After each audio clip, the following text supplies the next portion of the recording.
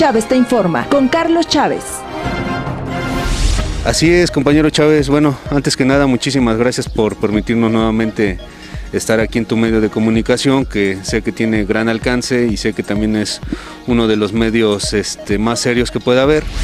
Eh, pues efectivamente, mi buen Chávez, hemos estado trabajando todos estos meses, aunque ha habido tema de pandemia, sabemos que, ha sido una de las, de las cosas que, ha tratado de bloquear un poco el trabajo eh, que se ha venido manejando de manera normal. Es más, ahorita venimos proponiendo un, un, proyecto estatal para el campo que pues tuvo que venirse mermando un poco pues por el tema de la pandemia. Sin embargo, se han llevado a cabo eh, pues aperturas de ventanillas aquí en la región, eh, ventanillas que son pues importantísimos en este momento de, pandemia en, el estado. Entonces, pues bien sabemos que algo que no puede parar, pues es el campo.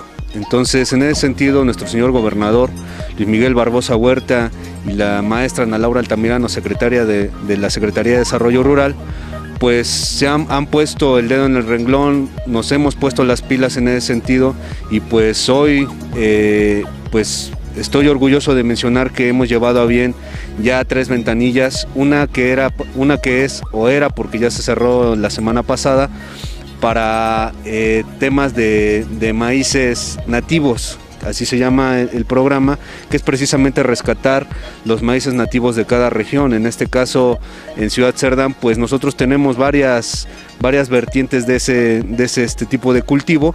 Entonces, pues dentro de las más importantes son las que más se, se están rescatando abrimos ventanillas, nos coordinamos con municipios, nos coordinamos con autoridades, pues para que eh, no hubiera ningún problema por cuestiones de, contagios.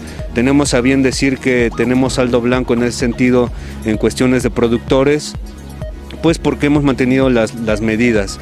Pues una, la sana distancia, dos, los cubrebocas, tres, el gel antibacterial, y pues cuatro que, sigamos este eh, pues dispersando el, tema con la, con la ciudadanía. Que, la gente también se vaya dando cuenta que sí podemos hacer actividades siempre y cuando pues tomando las medidas necesarias. Otra ventanilla que se abrió fue la de reconversión de cultivos de, a alto valor. Este es, es un proyecto, una ventanilla que lo que está generando pues es que existan otras vertientes de cultivo. A lo mejor aquí en Cerdán se ha dado mucho el tema de que solamente son algunos cuantos y no nos salimos de ese tipo de cultivo. Ahorita la Secretaría de Desarrollo Rural eh, está proponiéndole a los productores de la región a que se puedan esparcir en otro tipo de, de cultivo que en este caso pues pueda tener más valor Obviamente el trato es diferente, obviamente los resultados son a más largo plazo, pero sabemos bien que cuando se dé este tipo de, cultivo, este tipo de producción, pues sabemos que les va a redituar mucho a, todos aquellos productores que crean en este tipo de proyectos. Entonces, eh, en ese sentido, pues eh, hemos estado trabajando con, productores, asesorando también en, documentaciones, en expedientes, pues para que sea lo más atinado a la necesidad que se requiere en nuestro campo eh, poblano.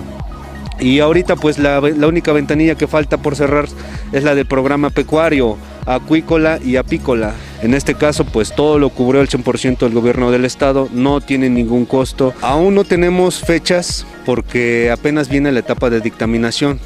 Entonces, pasando esta etapa que yo creo que son unos 15 días, 20 días, ya vamos a poder tener eh, pues a bien cuándo podemos entregar ya los apoyos o cuándo se van a empezar a entregar. Pues nada más eh, solicitarle nuevamente a la ciudadanía que no bajemos la guardia, que sigamos eh, pues con el grado de cuidado que se necesita, que amerita este momento que se está viviendo en la ciudadanía y que pues a nuestra gente del campo saben que tienen un respaldo con el gobernador, saben que tienen un respaldo con la secretaria Ana Laura Altamirano y pues aquí en su delegación pues tenemos las puertas abiertas para cualquier situación, cualquier duda, cualquier complejo que pueda existir para nuestra gente del campo, estamos preparados para poder apoyar en lo que más se pueda.